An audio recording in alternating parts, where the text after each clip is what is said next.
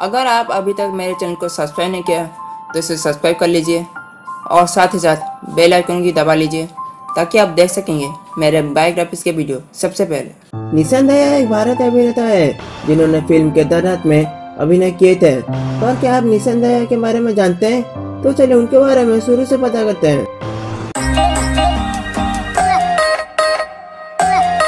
निसंदेह का जन्म मध्य प्रदेश के मऊ में हुआ था वो हरियाणा के सोनीपत से एक हिंदू जाट है। वो ग्वालियर और सिलीगुड़ी में भी रह चुके हैं। उनके पिता का नाम राजेंद्र सिंह है, जो एक भारतीय सेना के ऑफिसर है और उनकी माँ का नाम उर्मिला है, जो एक गृहिणी है। निशांत दया दूसरी संतान थे और उनका एक बड़ा भाई प्रशांत दया है। निशांत के बड़े भाई प्रशांत दया सेना में है। निशांत अपने पिता की स्थानांतरण नौकरी के कारण भारत में लगभग सभी स्थानों पर रह चुके हैं। लेकिन वो अंततः नई दिल्ली में बसते हैं। हाई स्कूल के पढ़ाई पूरे करने के बाद निशांत ने कुरुक्षेत्र यूनिवर्सिटी, हरियाणा में कंप्यूटर साइंस एंड इंजीनियरिंग में बीटेक का कोर्स किए हैं।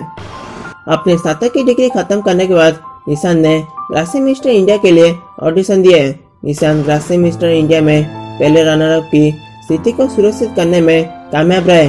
उन्होंने बेस्ट स्माइल और मिस्टर फोटोजेनिक जैसे किताब भी देते हैं। निशांत एक बहुत ही आकर्षक अभिनेता है और एक व्यक्ति के लिए फिल्मी पृष्ठभूमि के बिना बॉलीवुड में प्रवेश करना बहुत कठिन है, लेकिन फिर भी अपने अभिनय कौशल और आकर्षक लुक के साथ वो फ़िल्म उद्योग में आने में कामयाब रहे। उन्होंने तब फ़िल्म उद्योग में प्रवेश करने के बारे में सोचे।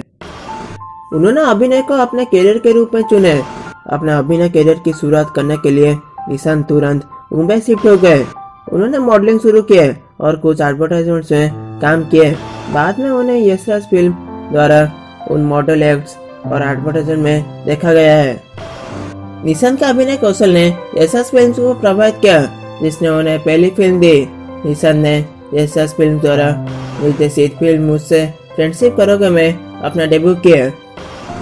निशांत को गाना चूल्हे में राहुल के रूप में फ़िल्म मुझसे फ्रेंडशिप करोगे में पेश किया गया था। उसके बाद उन्होंने फ़िल्म टी टू एम में अभिनय किए थे।